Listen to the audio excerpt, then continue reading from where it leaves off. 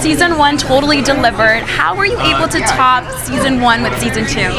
Oh, well, hopefully we did top season one with season two. That's the goal. Um, I think we just kept it, you know, we, we really just wrote from the heart. And we, we love these characters. We knew the fans loved these characters.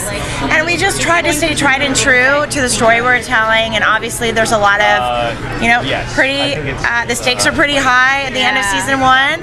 And so we come in and we have to grapple with the aftermath of what happened in season one. And we tried to be incredibly honest and earnest about how kids deal with that kind of loss in, in their lives and that kind of pain. And um, and through it all, these are kids who are like any other kid in the world. They want the same things. They want to fall in love. They want to be with their friends. Um, and uh, the, but the stakes to their mistakes are so much greater in their in their neighborhood. I feel like with every episode, there's always something that happens with every single character that develops onto the next um, episode. Can we see the same for season two, or is there more character character development? Um, you are going to see a lot of plot.